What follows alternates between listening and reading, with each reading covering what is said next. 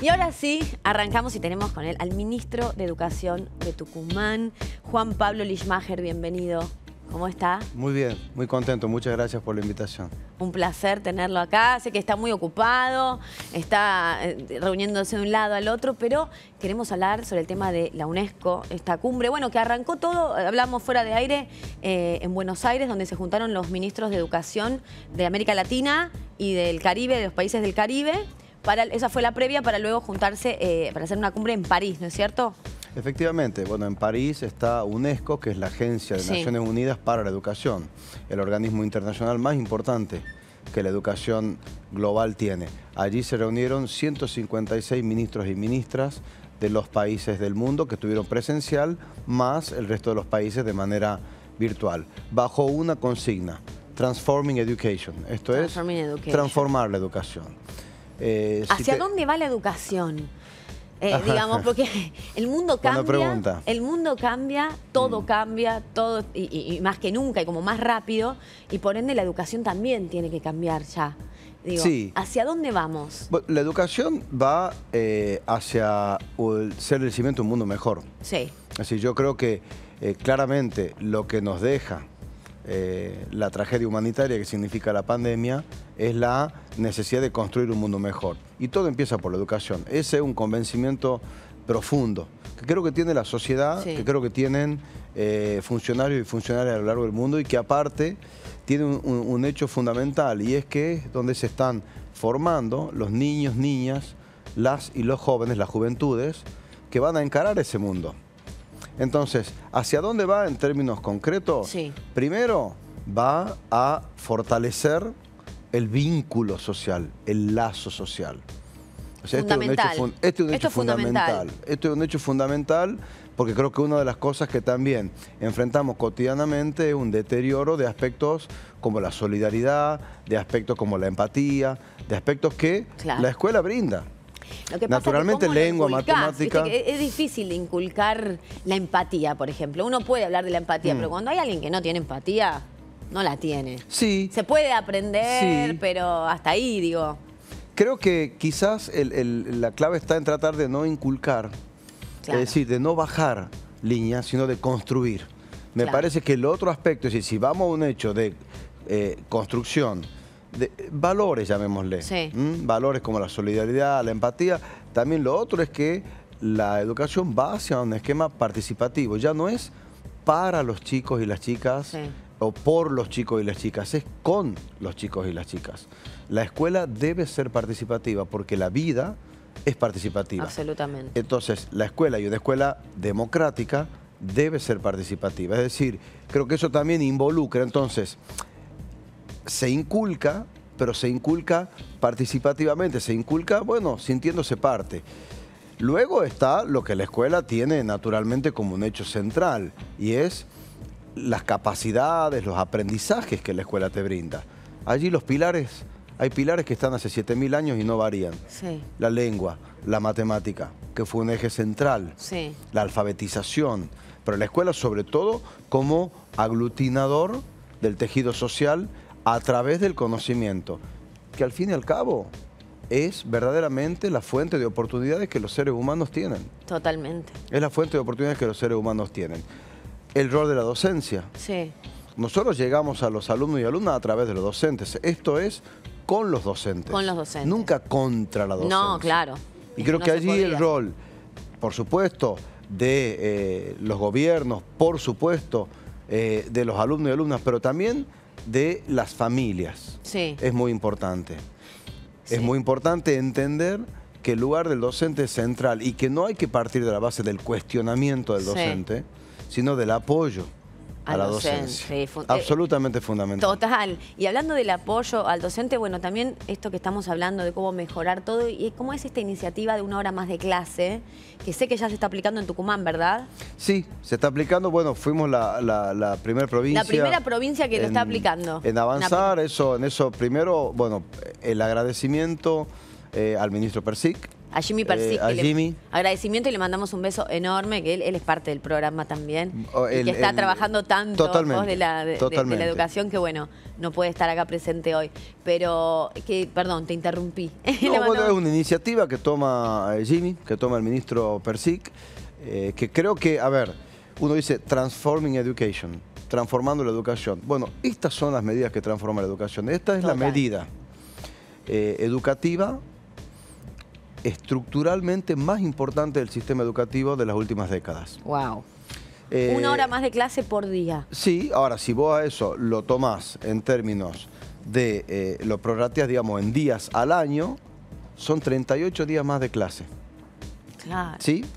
Un alumno que entra en primer grado ahora y durante los seis años de la primaria Sí. va a tener una hora más de clase, va a ser siete años en vez de seis. Claro. Para tomar dimensión de lo que estamos diciendo. Sí, sí, sí, Ese es el aspecto cuantitativo. Sí. Pero esto es más y mejor educación, porque también esa hora más es una hora de conocimiento y de aprendizaje en los pilares, Claro. en la lengua y la matemática, pero también en la convivencia escolar, también en todo lo que tiene que ver con lo que ocurre en una escuela y en lo que ocurre en una escuela siempre es algo bueno porque ese es el mejor lugar en el que un niño o una niña puede estar. Naturalmente aquellos niños, niñas que viven situaciones de mayor vulnerabilidad, Sí, claro. pero todos los niños y niñas. Porque hay, eh, hay problemas que atraviesan y que aquejan a todos los niños y niñas este, de la Argentina. Y allí siempre la escuela es un lugar Sí, de sostén, acogedor. de- Para que sea un lugar acogedor, también hay que trabajar fuertemente lo que son los aspectos, podés llamarle bullying, Sí. tiene distintos nombres. Es muy interesante ese tema del bullying, Tiene ¿eh? distintos Como nombres, totalmente, Sí. totalmente. Pero también hay que trabajar mucho en que la escuela sea efectivamente un lugar acogedor. Todos tienen derecho, todos y todas tienen derecho a tener un lindo recuerdo de la escuela. Sí, que, que, viste, a veces no sucede, porque ahora con el- sacó el tema del bullying, uno recuerda y dice, yo sufrí bullying en la primaria, en la secundaria, pero está buenísimo que de repente se empiece a tomar conciencia de que el colegio, las escuelas tienen que ser un lugar acogedor con respecto a esto y que uno tenga y quede un- con un buen recuerdo y que no haya sido un trauma. Absolutamente. Y en eso hay un lugar muy importante de las familias, hay un lugar muy importante de las escuelas. A ver, se trabaja mucho, se trabaja permanentemente, se capacita, se forma a los docentes en eso, se habla con los chicos. Los centros de estudiantes son centrales. Sí. ¿eh? porque también son ellos y ellas los y las protagonistas del día a día. Total, y sí. Partamos del hecho de que el bullying y demás no es algo que ocurre, sí, ocurre en la escuela, pero ocurre en distintos ámbitos de la vida. Sí. Y son todas las formas La de violencia y de discriminación con las, contra las que tenemos que eh, luchar. Ahora, la escuela es una herramienta fundamental para dar esa batalla. Ministro, muy interesante. Eso, eso es como para un capítulo entero para tratar el Sin tema duda. del bullying eh, en, en la escolaridad, ¿no es cierto? Eh, quiero hablar sobre el libro de Alberdi. Que usted escribió. ¿Cómo fue? Digo, para, para dar un pantallazo de este personaje tan importante para lo que fue para nuestro país, para la gente. ¿Quién fue Alberdi? ¿Cómo fue escribir el libro? Bueno, ¿Qué empiezo por la segunda. Sí. Eh, eh, el libro es producto de una investigación de doctorado, de la tesis de doctorado que yo hice en, en Inglaterra. Si son, desde, que, desde aquel momento son 20 años de investigación sobre la figura de Alberdi. Es un, nace, un libro que nace en inglés, Ah, lo traduzco luego al, al español y cambia el formato de una cosa muy críptica y académica que tiene una tesis doctoral para transformarse en un ensayo. Eh, y también, bueno, naturalmente agradezco a Editorial Sudamericana que se hace eco eh, y lo publica. Tres cosas a destacar sobre Alberti, ya yendo a la figura de Alberti, Sí. ¿no? La primera es que eh, yo rescato un Alberdi poco conocido, poco trabajado. ¿Y qué es el Alberdi?